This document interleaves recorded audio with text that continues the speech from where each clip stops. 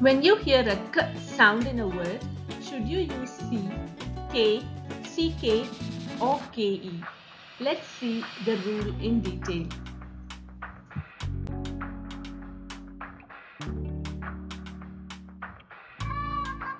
If we hear a k sound after the short vowel, we use the letters C, K.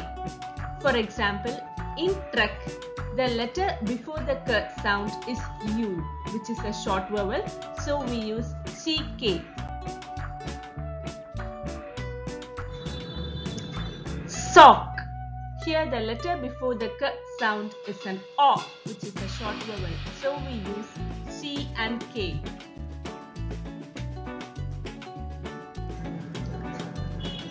Clock.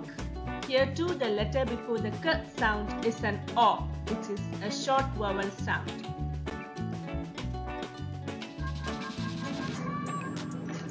Let's see the example quack. In quack, the letter before the k sound is an A, which is a short vowel, so we write CK.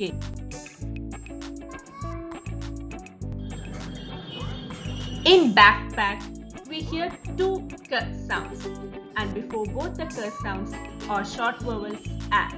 So we write ck for both.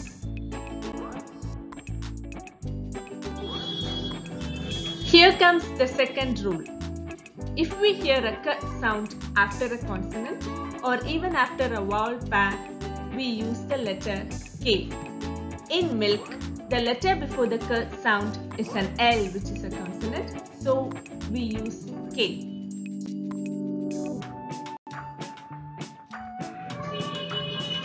Now look at the letter before the k sound in the word park.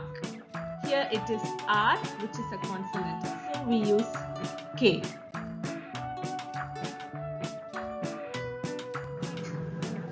Similarly in folk, the letter before the k sound is an R, so we write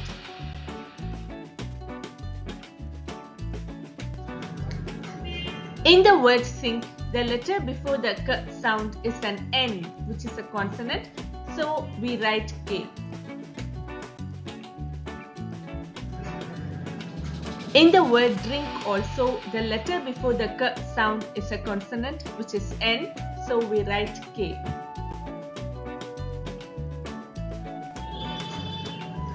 In the word cook, the letter before the k sound is a vowel pair. Here we can see two vowels that is two O's. So we write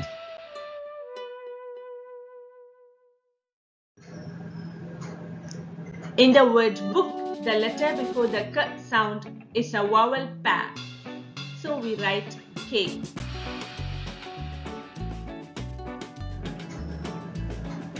Peak. Here we have double E. A vowel pair is present before the k sound so we write K.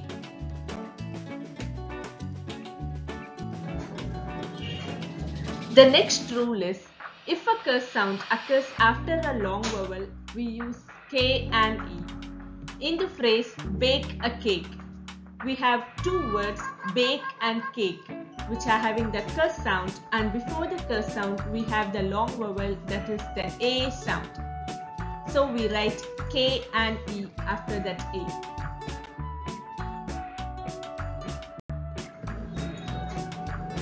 Lake.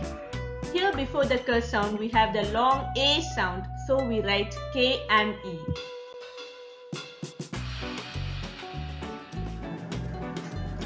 Hike. Here we have an I sound which is a long vowel sound before the k sound so we write K and E.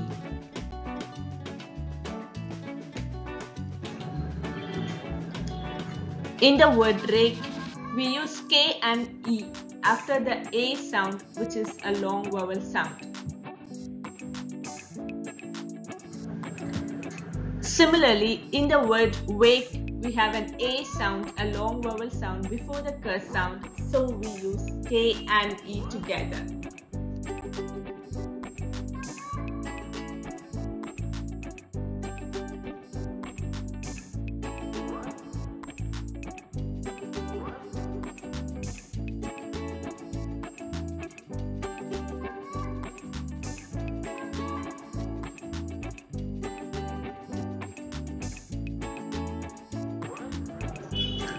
Here are some examples for the short vowel plus curse sound at the end of the word and before a short vowel. So we are writing C and K.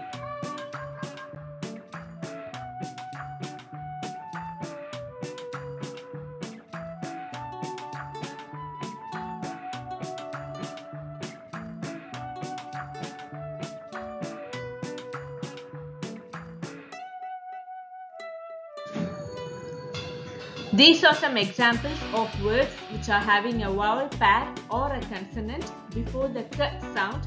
Here we have no short vowels, so we write k at the end of these words.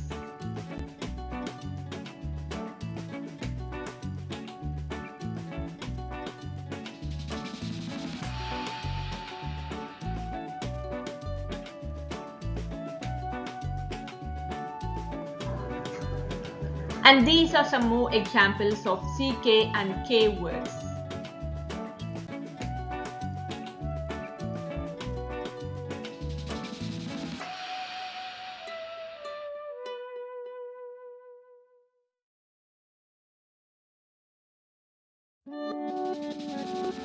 Like, share and subscribe.